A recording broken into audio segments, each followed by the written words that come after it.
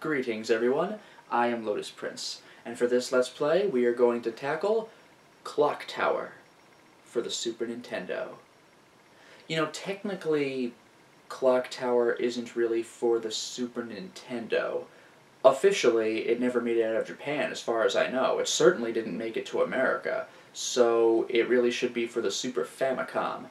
The only reason I'm able to play it is that I have a repro cart which means that someone took the ROM file of the game, put it onto a Super Nintendo cartridge, and made it so I can play the game on an actual console, which is pretty refreshing because other than that, I would have no choice but to emulate the game. So it's cool to see that, number one, a fan translation exists, and number two, that the game can be played in the way that it was meant to be played. Clock Tower is a really interesting game. America got the series, including the PS1 sequel, but we were never informed that it was a sequel, and I don't think we figured that out until later down the line. So we're going to take a look at how the series started. It's strange. It's a Super Nintendo game, and it's a point and click, and yet it remains one of the creepier horror games of its time. It actually ages pretty well. It's pretty creepy even today. The game knows how to use sound and music a lot of times there's no music whatsoever, and all you can hear is your own character's footsteps moving through the hallways of these creepy rooms in this overly large mansion. The basic premise is that you are one of three orphans who is being taken by your caretaker to people who have chosen to adopt you. And of course, things go wrong just about as soon as you go into the mansion. The, your caretaker leaves and then just doesn't come back, you go looking for her, turn back, your friends are gone. What do you do? And then the game really takes off. You'd be interested to see this game's mechanics of how you avoid threats and you can hide and run places and manipulate objects. It's, at least to me, pretty advanced for its time. I don't know if other games really did anything like this until the PlayStation 1 era. So this will be interesting to see. Oh, and as an added feature, if you are familiar with Dario Argento's movie Suspiria, you might pick up on some musical references and even thematic ones in terms of game presentation. One of the first times you see the antagonist of the game, that might be a little telltale sign right there. So watch out for Suspiria references, if you can. Oh, and uh, one last little thing. This game introduces one of horror video games big icons. You know, we're talking everyone's heard of Pyramid Head, everyone knows about Dracula from Castlevania. We have a clock tower villain as well. He might not be quite as big as the other two, but he's up there.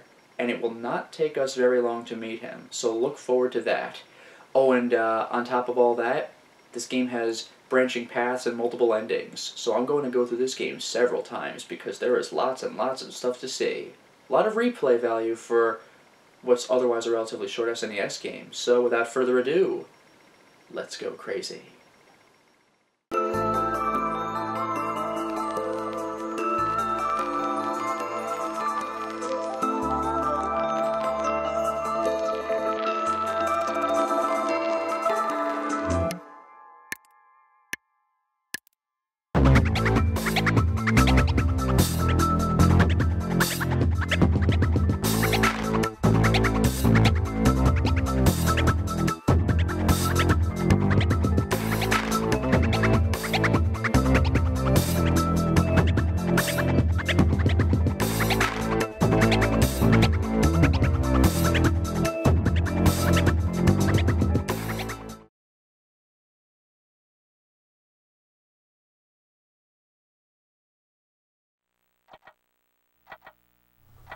Human entertainment.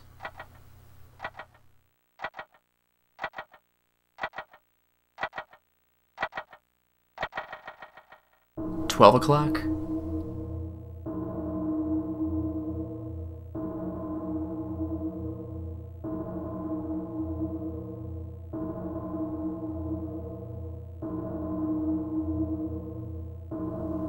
I do kind of like how it's coming with each chime of the clock.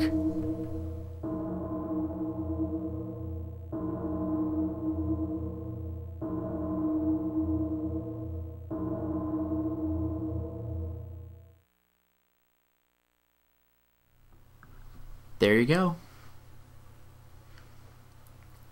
So we have the game start where we watch the opening prologue. We have quick start if you just want to immediately get to gameplay, just do what you have to do. Continue if you stopped in the middle, I guess. Ending list. A through H. That's a lot. And then we have the option of going from stereo to mono audio. Let's go right into things. Game start. Let's get the context of what's going on in Clock Tower. Raised in the Granite Orphanage, Jennifer and her friends. Ooh, this music. Were wanted as adopted daughters. It happened in September. This is some intense music for Super Nintendo. This is serious.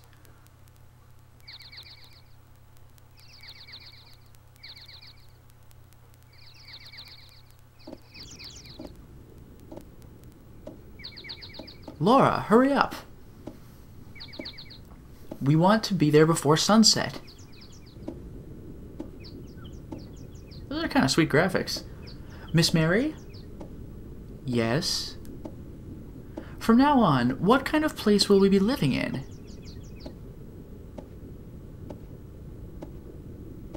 That's the fifth time you asked. Don't worry, it's a very nice place.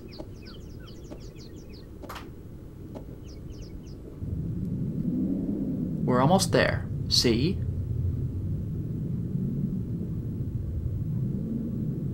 Hey. Place is huge.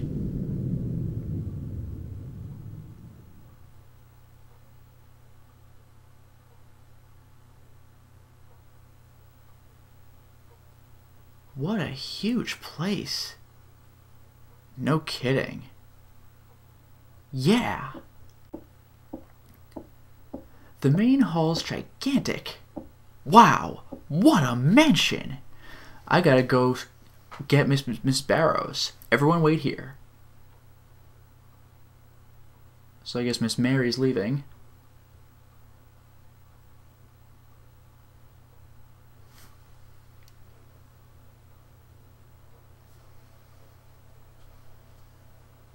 Okay, and we're playing. And believe it or not, this is how we play. This game is kind of a point and click, if you could believe that. Now, I cannot make use of all the controls yet. I can press L or R to move right now, but in the real gameplay, L and R run. What I'm supposed to do is point and click at whatever I'm supposed to look at, or in this case, talk to people with, or talk to people, whatever. So A doesn't do it. Was it Y? Hey, Anne.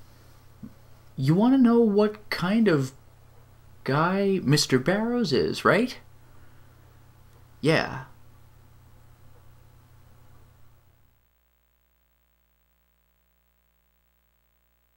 Oh, okay, I guess I gotta talk to her again. I thought they would kind of continue that. Hey, Anne. You want to know what kind of guy Mr. Barrows is, right? Alright, let's let's talk to someone else then. What is it?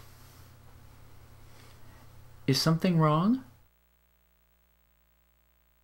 This house makes me uneasy. Yeah. Fair enough. I think I gotta talk to everybody twice just to get ourselves in the mood here and to allow the game to continue. I doubt I'll ever get used to this place. Heh. Lots paranoid. Okay. Let's give our friends a second talk each. Hey, can you go find Miss Mary? Okay, and there's the prompt, but I have I think I actually have to talk to everybody to be able to do it because I tried this, I gave this a dry run before and I couldn't get anywhere and it was boring. what happens to Miss Mary? And now to finish it off. Mary. She's taking a long time. Should I go find Miss Mary? No, I'll go look for her. Don't worry about me differentiating voices. Most of the game is going to be just Jennifer, and there's very little dialogue. It's just like what you read when you look at stuff for the most part. And we're through the door. And it's dark and creepy. Oh, I'm actually playing for real now. Okay. Eleanor don't work. Whoa. The main hall. Girls? Come on, this isn't funny.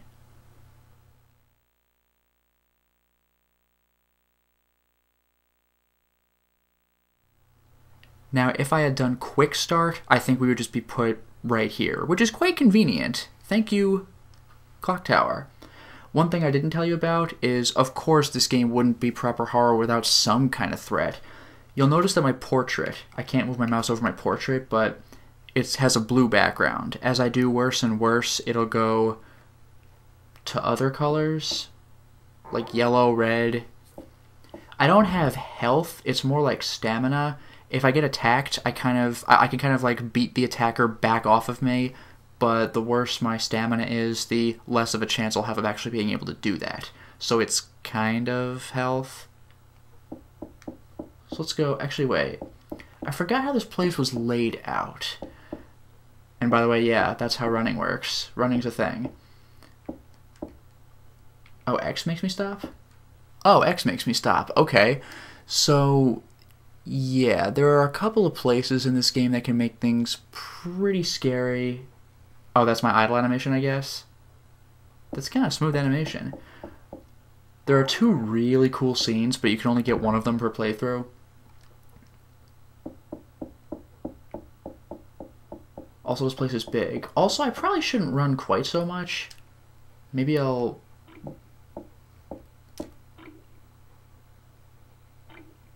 That's creepy.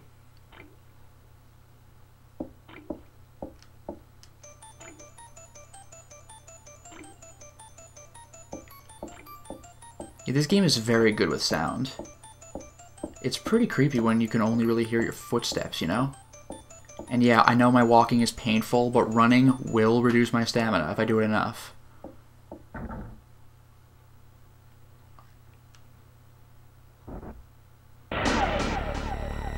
That is crazy. And that's very Suspiria, by the way.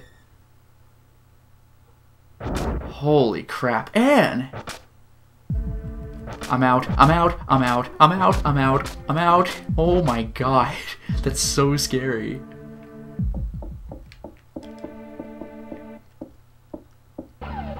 At this point, I just want to hide. And I don't really know... Oh, okay.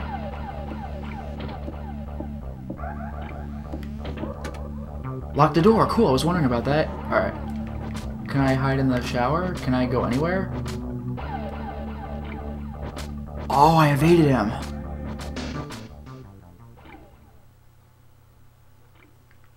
Yeah, here's the thing. What's super scary about this game is that evading him like that was not necessarily a guarantee. Like sometimes he might try the door, it's really unnerving. No playthrough is exactly the same. You can go through the same steps to beat the game, but you might have to do different things to evade this guy.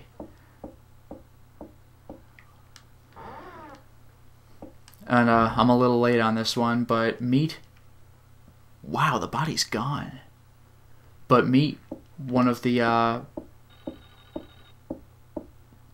Oof one of horror's iconic video game enemies, the Scissor Man. Didn't take long to introduce him, did it? Forget this, I can't deal with this, I'm running. And I'll just pray I don't run into him. What a freaking nightmare, huh?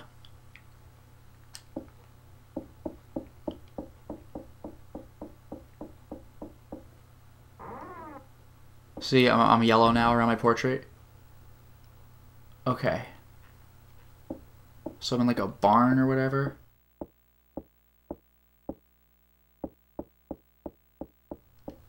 Oh, there's a car. Okay, let's uh, whoop, let's go in. It's open. Oh, the keys aren't here.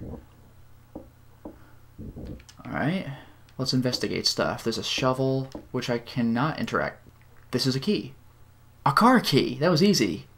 Pocketed the car key. Yeah, it's this kind of game, believe it or not. Like I told you, it's a point and click. Isn't that weird? Okay. Let's get out.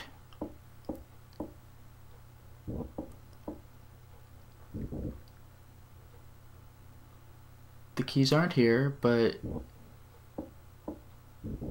well, no, no, I, I know, but do I have inventory? Start, select, A. Oh, weird. Okay, I didn't realize it did. Okay, huh. I can get out of here with this car. But the others. Yeah, I don't know where Miss Mary is, and one of my friends is confirmed dead, but the other two are not. I would be abandoning them. But that was a scissor man. I'm not dealing with this. What should I do? Yeah, this is the game telling. Like, I tried using the car key twice, and the game's telling me no, but I'm doing it.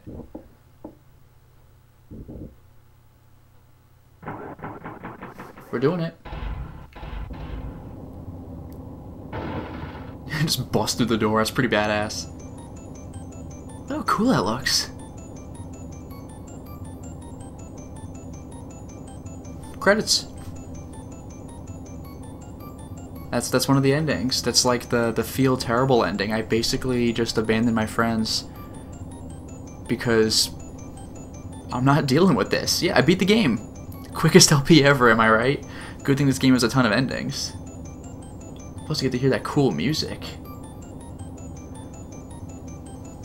And yes, I am going to let the credits play because I'm not sure if anything, like I'm not sure what happens if you skip it or whatever, or if you even can. I know the opening prologue cannot be skipped, but I don't know. Let's see where this goes. Jennifer, we got monster design, object design, Dan and Bobby. Mary.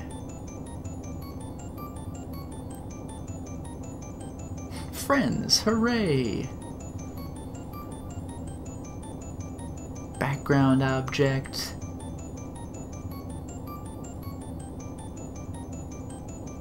Background design. Alright, alright.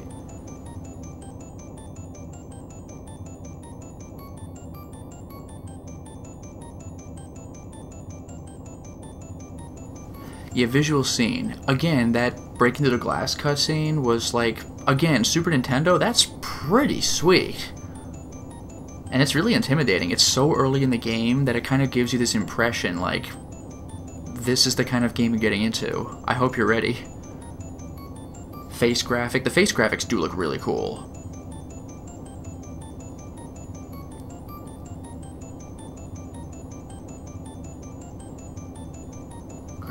Helper.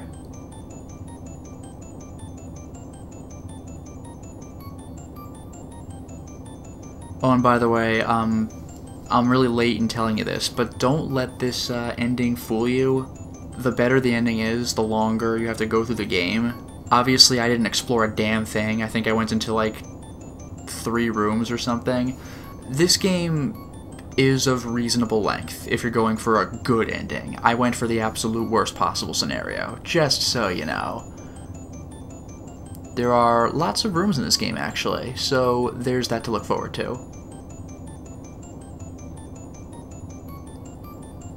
Okay, it looks like the credits are over. Oh, actual movement cutscene. Oh.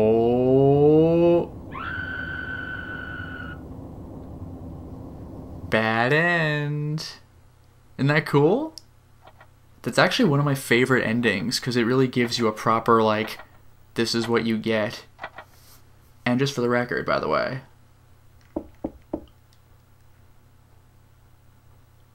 Got it.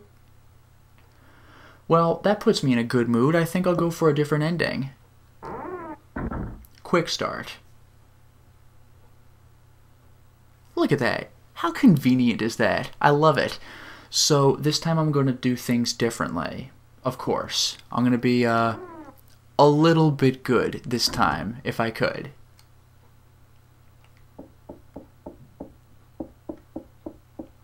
Again, I really shouldn't run too much though, so I'm gonna have to do this a little bit more uh, delicately, I think. Again, I apologize for my walking speed. I'm doing this for my own good.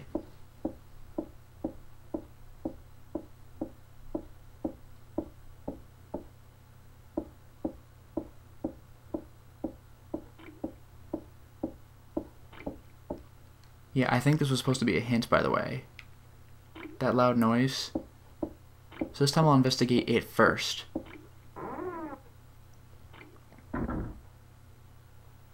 Yeah, see, here's the same bathroom I was in before, but this time everything's all steamy. So I guess it's occupied?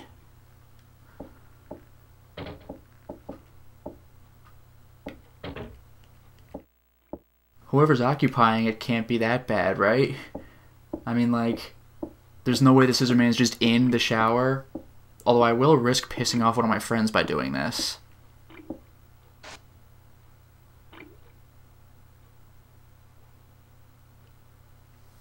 Except one of my friends is already dead. Laura. And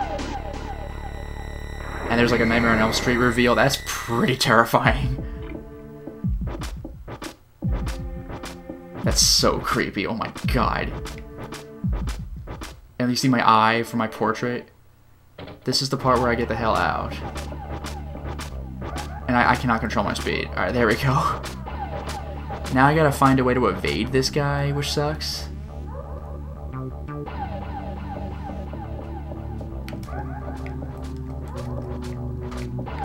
I don't know where he's coming.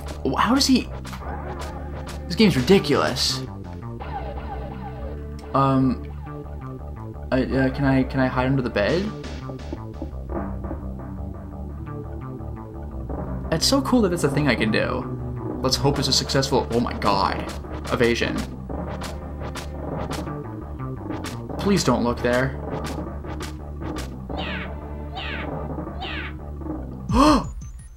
don't even tell me. The parrot? It didn't give me away, did it? No way! Good lord, that... That's... That's crazy! I didn't even think about that. Wow! This game.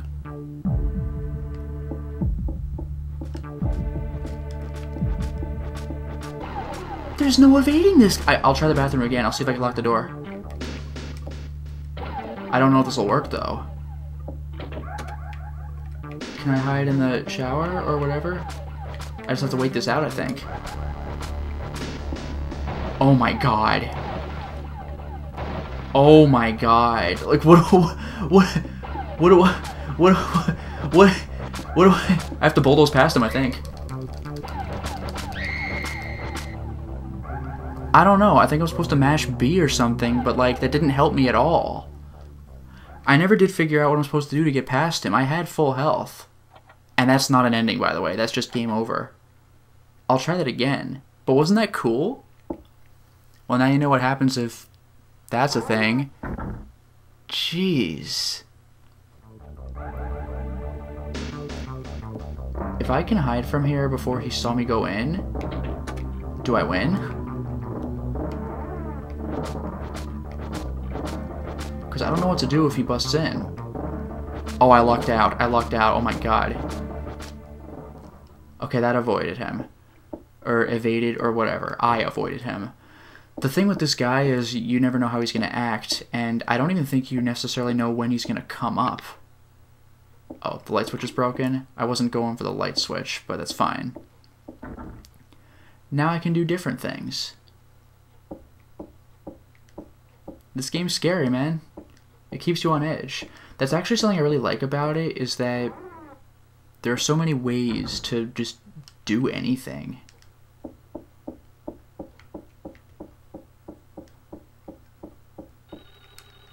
I am not touching that phone. I'm sorry.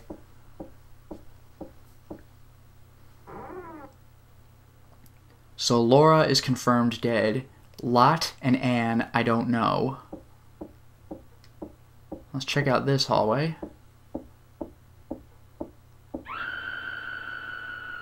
God. I don't know. Ooh.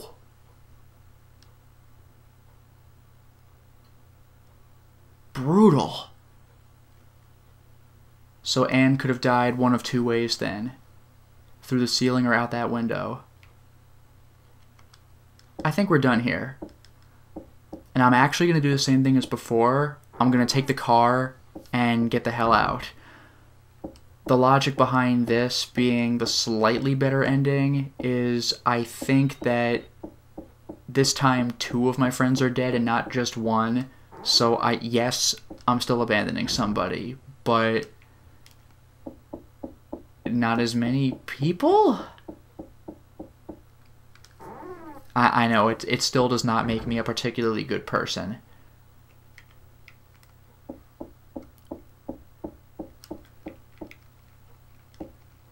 I'm going to go ahead and get that car key again.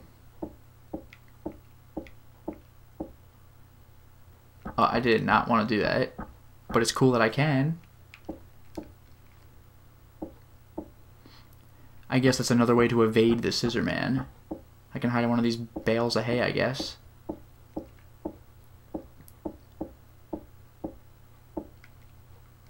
You really gotta wait for your character to finish moving.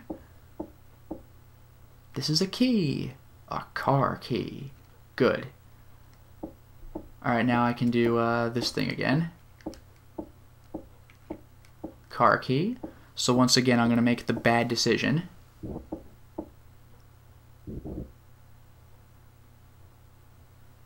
I can get out of here with this car. But should I, of course, you know? But the others. Yeah, my my friend Lot and Miss Mary. Laura and Anne are both dead for sure. This game is brutal. What should I do? And then the uh, the grand finale here. I'll get my icon out of the way.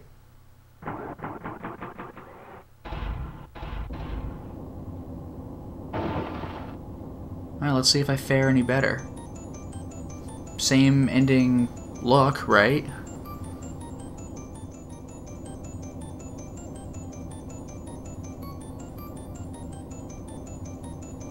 Okay, and those are the credits.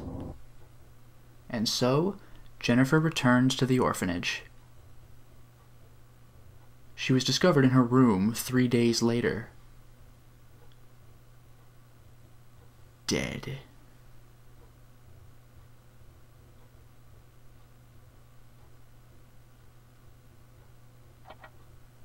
Yeah, this game doesn't mess around. Brutal endings. What a downer way to start this thing, am I right?